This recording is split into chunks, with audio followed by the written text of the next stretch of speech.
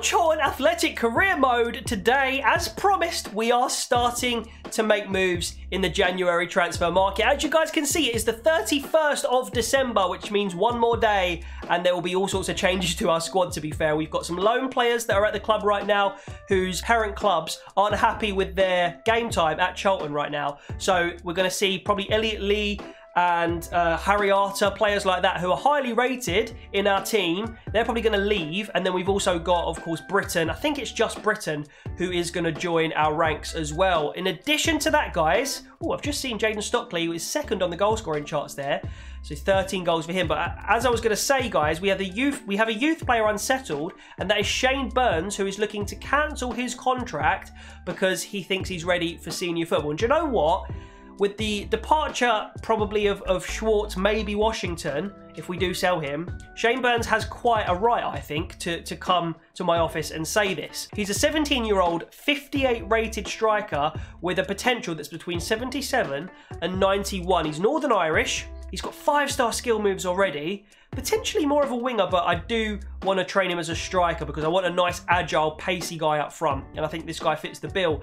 Uh, we are working on his week foot. Anyway, a long story short, I think Shane Burns is just going to go straight to the senior team. Welcome to the senior team, Shane Burns. By the way, I've looked at his stats. His agility, dribbling, that kind of those kind of stats are absolutely immaculate. So, without further ado, let's move this clock forward to the first of uh, January as you see all of those office notifications firing through. And we have Wycombe as well in the league to deal with who are 24th in the table. But are we going to play that game first or are we going to do some transfer stuff first? So here's the bad news, first and foremost, okay? Elliot Lee has been recalled by Luton Town. So that's unfortunate because he, he played a few games and he was good for us. But uh, yeah, that's a shame. He's gone. Arter also, a 70 rated CDM, recalled by Nottingham Forest. We're now going to need a backup CDM potentially, or at least strengthen the midfield. Uh, we are also now Pierceless, because he's left to Hearts. Schwartzless, because he's left to Auxerre. And Watsonless, because he's left to Karlsruhe SC. Barker has also left on loan to AC Ajaccio. So we are super, super, super uh, just short of numbers, basically. We're going to need to make a few signings in this window for sure. Callum Brittain does join us, and another exit in Chrissy Gunter. Wow. Okay, let's actually see what that means for our squad now. So effectively two additions for us with Burns as well. We have five reserves. oh no. Okay, so we got Brittain, who is pretty much going to go straight into the right back position because he's really good for this level of football. Uh, up to a 69. That's really good. He's probably got a start ahead of Purrington at this rate, hasn't he?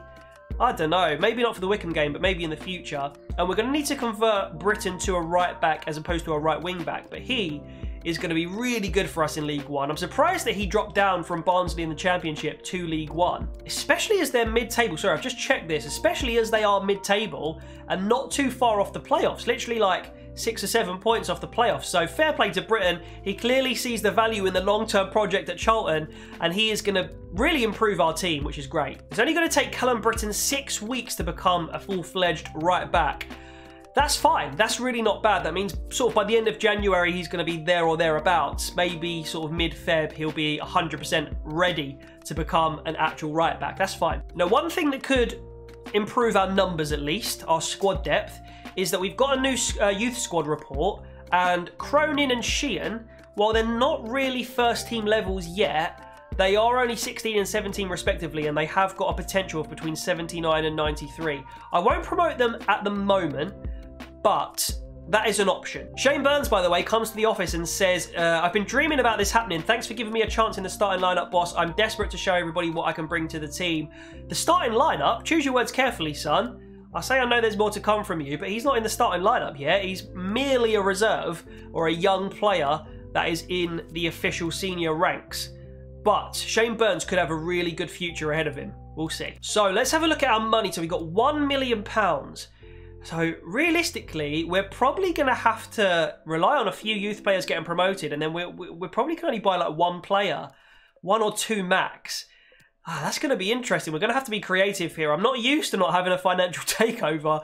So, wow, okay, this is going to be tough. So I think, honestly, the areas that we want to strengthen with a first team rated player is probably CDM because Dobson literally doesn't have a backup CDM now. Now Watson's gone, and centre back we have Famewo Inniss, then we have Lavelle who's good, and then we have Elerewe who again is good but not great for this level. So we don't want to rely on him too much, especially with the sheer amount of games that we have still being in the Papa John's Trophy and of course the league and the FA Cup as well. So yeah, we definitely need some bodies and CDM and centre back I think could be the way to go here for our one million pound budget. Ah, okay, so this is an interesting discovery, guys. Makoto Okazaki from FC Tokyo is worth 600k. He's a decently rated centre back slash right back for this level, and we can get him on a free.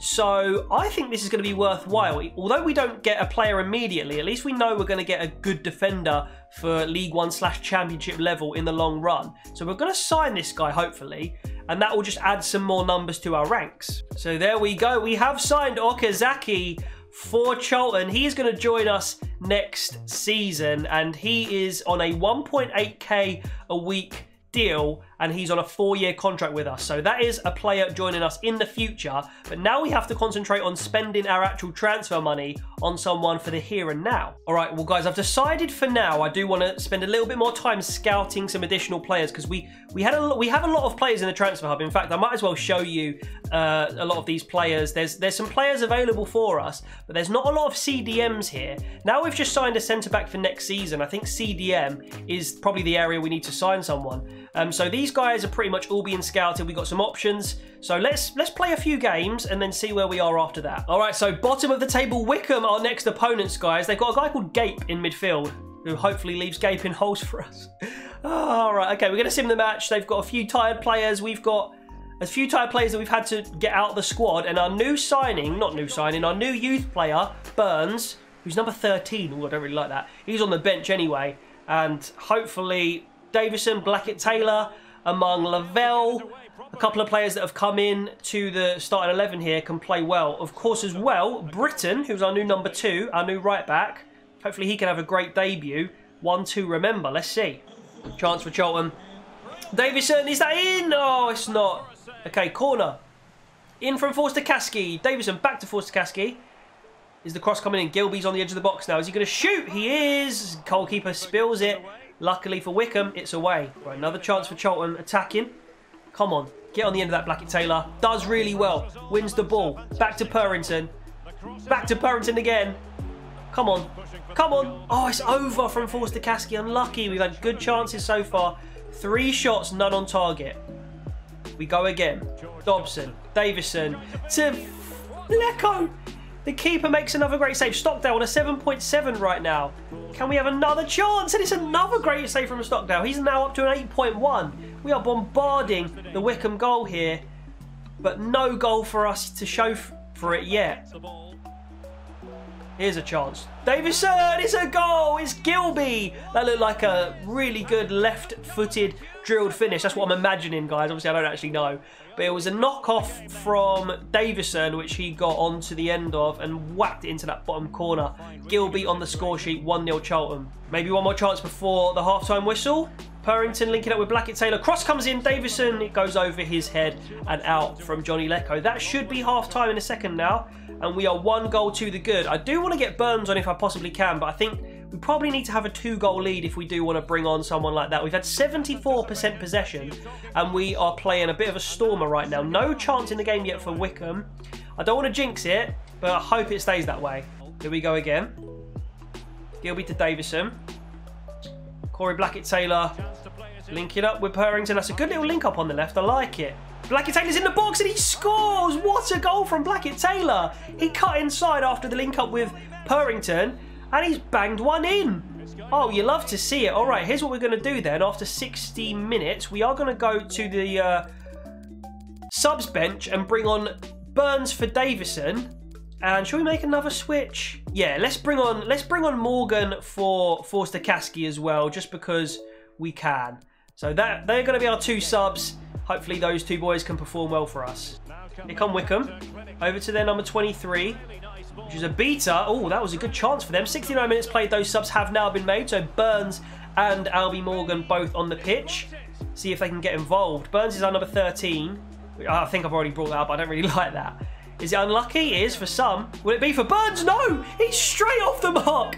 Shane Burns, our Northern Irish youngster, our wonder kid, has immediately scored after being on the pitch for three or four minutes. That is exactly what you want to see, guys. He's on a 6.3, which is harsh. Let's jump to result. And it is a 3-0 win for Charlton. How is Burns on a 6.2 after scoring?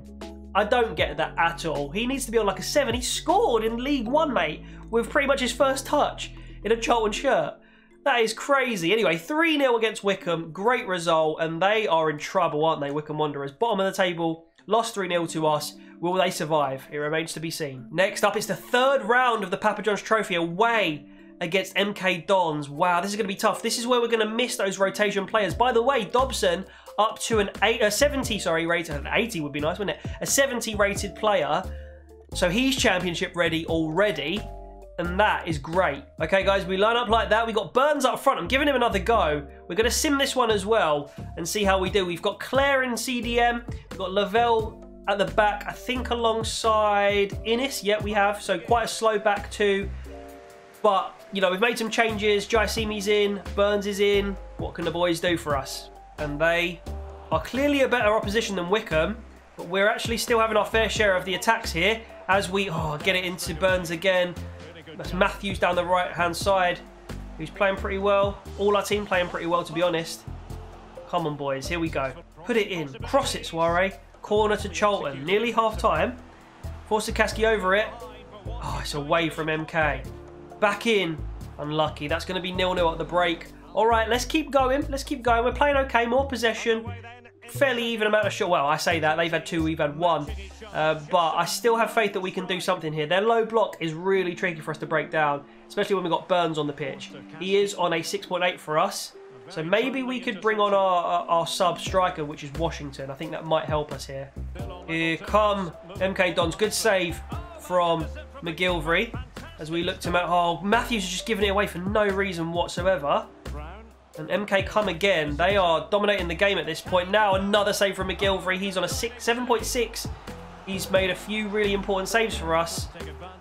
And we get it away up to Washington, who's now come on the pitch for Burns. Burns couldn't get his goal in the first hour. And now we're, we're relying on a more senior player who is involved instantly in an attack between himself and who's our number 10? It's Morgan, who couldn't score there, and that one also goes over. That's actually another corner, and that's a goal! Come on, it's Sean Clare from the Albie Morgan corner. That's what we wanted to see. 20 minutes left, and we are heading to, I guess this must be like the semi-final now, maybe, of the uh, EFL Papa John's Trophy.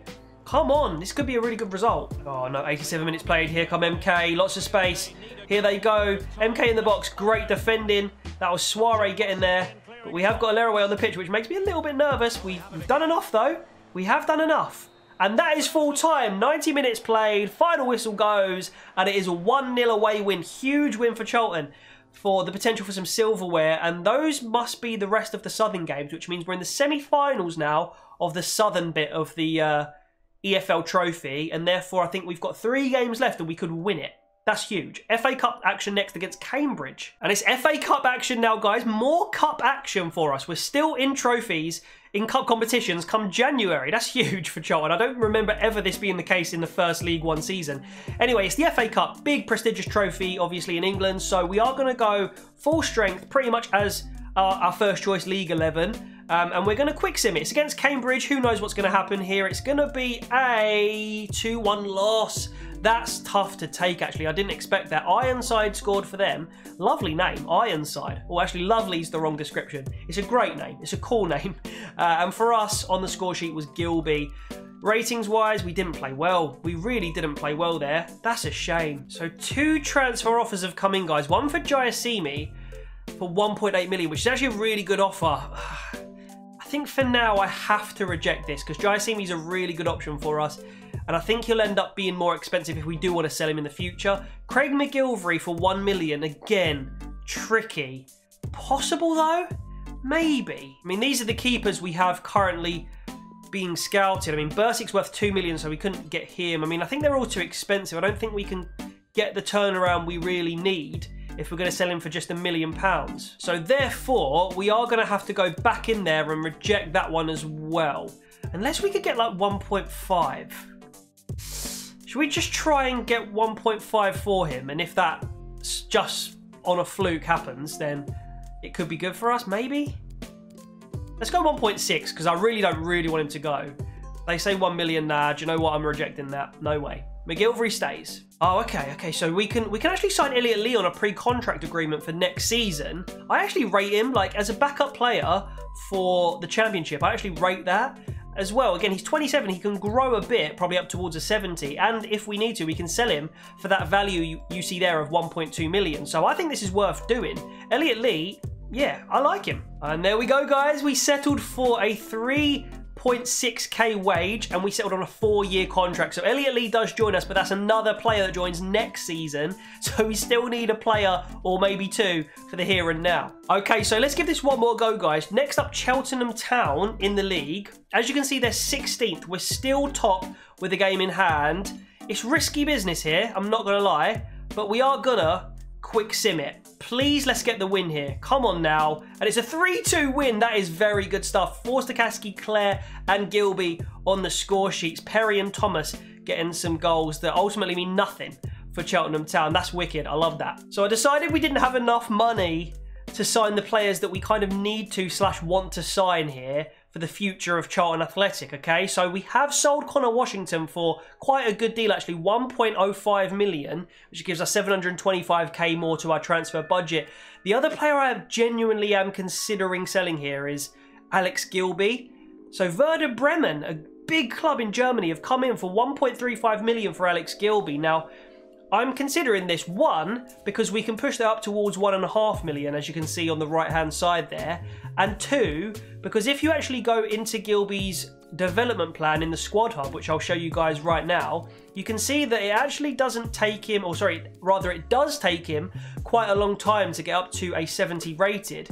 So he's not going to be worth much more money for us in the future. He's he's getting older. I don't think we're going to see the same 75 rated Gilbey as we saw in the FIFA 21 career mode, guys. So I'm considering it, but I have replacements in mind, so just trust the process, okay, guys? All right, one more game to get through, I think, until we actually make some moves here. It is going to be against Crewe. so Charlie Kirk against his old club. We draw it 1-1. Not the best result. Again, we are struggling with squad depth right now, guys. If you actually have a look, A, at the league table, you can see that we are top, and B, at our squad, we are really struggling. We've down, we're down now to four reserves, guys four reserves in the club at the moment, plus maybe more exits on the way. This is tough. Oh, okay, so I found a really good option here as a backup for George Dobson. It's Aron Gunnarsson, who is the Icelandic legendary player of the EFL, if I do say so myself. I think he played for uh, Cardiff for quite a while. Very good player. I think we can go and sign him for free and that, that could be huge. That could save us a lot of money and we can go and maybe buy one or two more really good players here. He wants to be an important squad member. That's okay. Means he won't expect to play every game, but he expects to play quite a few. We'll go for two years. Hopefully he accepts that. He does. We'll disregard any release clause nonsense. He wants 4.1k plus an appearance bonus. We'll get rid of the bonus. 4.1k is a lot for us, but I'm happy to do it for someone like Aron Gunnarsson as a backup. That's really good. Okay, that's beautiful stuff. So we have a, a free transfer of that quality in our squad now. That's great. Happy with that. And it's Fleetwood Town next in the league, 18th. We're playing all the teams at the bottom of the league. We're still three points clear of Ipswich. I think we'll probably need to bring Jaiyesimi in for this one for fitness purposes. But besides that, we're looking pretty dandy, to be honest. Oh, I tell you what, we'll bring Souaré in as well. And then that is all we're going to do. Actually, shall we bring Gunnarsson into the onto the bench? Nah, I think we'll leave it at that, guys. All right, let's get into this game. Let's quick sim another one. Do we get the win against Fleetwood? Come on, Charlton. Come on, Charlton. It's a 2-1 win. Forster-Caskey and Jaiyesimi score for us. Morton scores for Fleetwood, but it's another three points in the league. That is huge. Somehow, we are doing the business on the pitch, despite having a significantly depleted squad in terms of numbers. Also, brilliant news. Callum Brittain ready to become a right back. His overall rating does not change, but we can now focus on him becoming a wide back, get that crossing up, get that passing up, that slide tackling and stamina as well, that defensive work rate, and Callum Brittain will hopefully become a really good player for us in the championship if we get there. Hopefully we do. Oh, Alex Gilbey has been sold officially. That kind of hurts my heart. But I think in the long term, we have to think of what's good for the club. And I think that was the right move. We've also had a transfer offer in for Albie Morgan. It's always Turkey that are interested in Albie Morgan. I don't know why that is. Um, for now, we're not going to reply to that. I don't think we really want to sell him, to be honest. So here's the plan, guys. £2.79 million. I think we can make a really good capture with this money. And this is the man we wanted, guys. Luke Jephcott, 21 years old, striker for Plymouth, of course.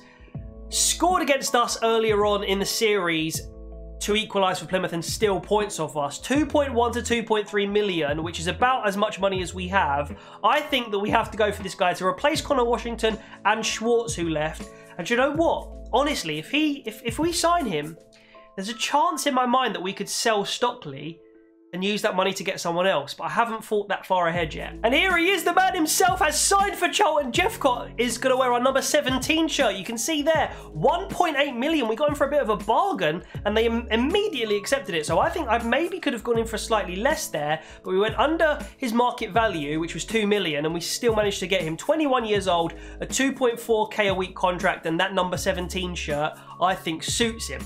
He's going to join the club and he is now going to compete with Stockley for that starting position up front. Wow, only three days left of January, guys. This has absolutely flown by absolutely flown by. We've won most of our games apart from that Crewe draw on the, on the 19th, and then we lost in the cup on the 8th as well. I actually feel like, although it's a huge game, I am going to just sim the Portsmouth game. We've lost it 3-1. I think we're still top, but that's a tough loss. And it is now deadline day. Well, I didn't think we were going to do this all in one episode, but it looks like it's going to be a very transfer heavy episode. We might not even get any games played in this episode. I'm not sure yet. Uh, we still want to do a little bit of business here. I don't know how likely we are to do that, but we're going to try. Right, it's all kicking off. All right, let me update you. So first and foremost, I tried to get Miles Pert Harris, he's an attacking midfielder on loan in a loan to buy move, okay? He turned down the opportunity to come to us. He's a Brentford player, by the way, 67 rated CAM. I think he's 19 years old, so it would have been a really good deal for us. We have, however, after suffering that rejection, gone back into the transfer hub and found a certain player, let me get to him, called Bilal Benkhedim from AS Saint Etienne. So we've got a loan to buy offer going on for him. It's a short-term loan, and then we buy him for 1.4 million. I don't actually know how good this player is, but he plays for a good club, and his value seemed to be about one, one to 1.5 million. So I'm hoping he's like a 65-ish rated CAM, and he could be a good option for us. The only issue is we have to advance time to see if he accepts us or rejects us, and we're only two hours left of transfer deadline day at this point. Our squad is very small. So if we don't get this done, we've lost Gilbey. We've kept Stockley, by the way, so we've got some good options actually up front. Actually, having a lot of strikers might make Burns suffer, actually. He might not get as many chances as he might have hoped. However, I think we might have to dip into the, the, the, youth market again and start promoting some youth players just to bulk our squad out a little bit. At least we've got quality in our team.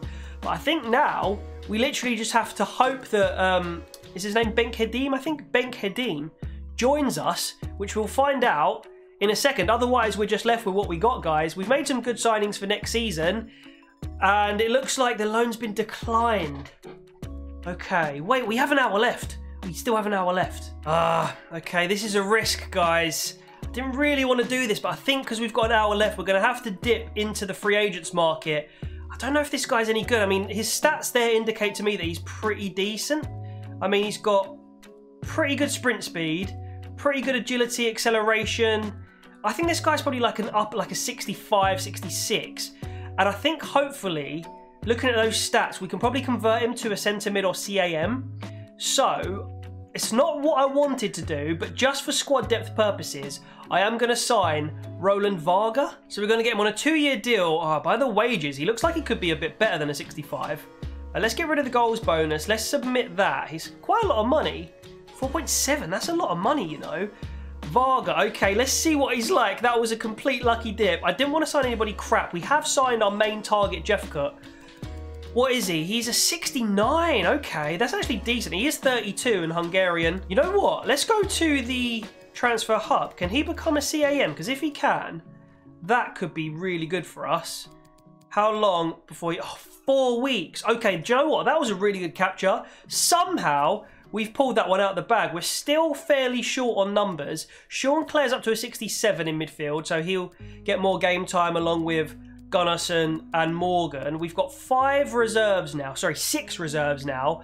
Plus, we can turn to uh, some youth players because we still got a little bit of money. Plus, we can do deals for like outside of the transfer window for next season. So you know this, the quality of the players that we've got is very good. And we're going to have actually an opportunity for some youth players to, to get some game time in the second half of this season. Hopefully, this is still enough for us to win the league. I think it should be, but that is going to be our transfer business done. So let's tick down this final hour of deadline day, guys. We didn't get any offers even though we transfer listed Stockley, so he is going to stay. I wonder whether we are going to get any offers. We do. We get one for Inniss and one for Morgan. Nobody's interested in Stockley, even though he's been superb this season. One of the top scorers and the top assister in the league. We get the Manager of the uh, Month award, which is excellent. And yeah, the transfer window is closed. Let's have a look at our latest Youth Squad monthly report. And we've still got some really good players here. Oh, John Scott can move to a striker. Let's see if that 40 rating improves. Everybody guess in the comments what's it, what it's going to improve to. There are his stats. I reckon maybe like a, I reckon a 50, you know? I'm going to put it out there. I reckon he's going to go up to a 50. And he does! Oh my god! I'm actually so clever, bro. I'm actually so good at guessing that stuff. Okay, do we promote any of these players? That is my question. So, Cronin is still an, a maximum 91 potential here. Keating as well looks like he could be good. I think we pretty much promote Cronin and Keating for now because they look really good. Sheehan also could be good for us. Maybe we just promote all three of them. I think for now, we'll promote Keating and Cronin. And Sheehan, because we've got so many strikers, can just hold off for a second. And that should give us a little bit more depth in our squad. So ending off this episode, we are going to have about seven reserves. You know what? That's fine. I, I can live with this. This is fine. So we are still top of the table, guys. We're going to end off today's episode with a game at home against AFC Wimbledon. We're still clear of Ipswich by two points, but Wimbledon have beaten us 3-1 in recent weeks. We now have our newly assembled squad. Clare promoted, if you like, in that position that Gilbey was in for most of the season into the starting 11 in midfield. We're going to also replace the change, which is Famewo, who is banned for this game. I'm actually going to be super controversial and actually bring in Alera away, who's got a little bit more pace about him. Actually, he hasn't really. He honestly hasn't. 58 pace. Do you know what? No, we're, we're going to go with Lavelle and Inniss. It's very slow, but we're going to go with it anyway. And um, yeah, we'll see what these boys can do. Come on. Right, we're going to see what happens on the sim in the first half, guys. We have brought in Jephcott up front for Stockley, which is very harsh on Stockley. I know I'm being super harsh on him today, but I do want to see what Jephcott can offer with that 80 pace that he's got, and also he's a lot younger, so he can grow quicker. So I want to get him in that starting lineup as quick as we can. But we're going to sim the first half and then jump in for the second half, probably regardless of the score, just so you guys have a little bit of gameplay in today's episode. Otherwise, it's literally just menus and transfers, which I know is quite exciting in itself. But I, I, just, I don't know, I just wouldn't feel right without putting a little bit of actual football in there. We have a chance here. Clare, let's... Oh, I thought that went in. Good effort, good effort. Come on, come on, boys. Jephcott out to Brittain, and it's a corner. Let's sweep this in. Forster-Caskey. Forster-Caskey on the second chance. Gets it into the box. Dobson on the edge of the box. Turn. Someone shoot. Someone please shoot.